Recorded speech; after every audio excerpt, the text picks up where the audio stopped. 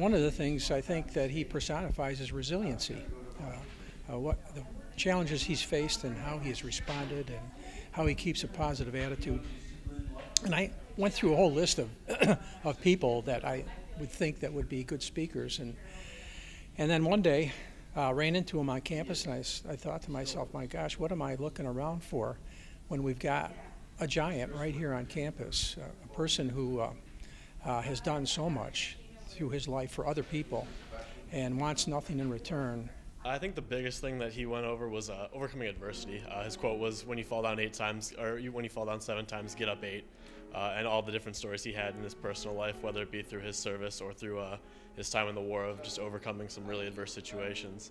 Uh, and then secondly, his points about uh, leading is actually serving, and it's really dedicating what you can to your teammates and to the people around you, and giving back as much as you can to your community.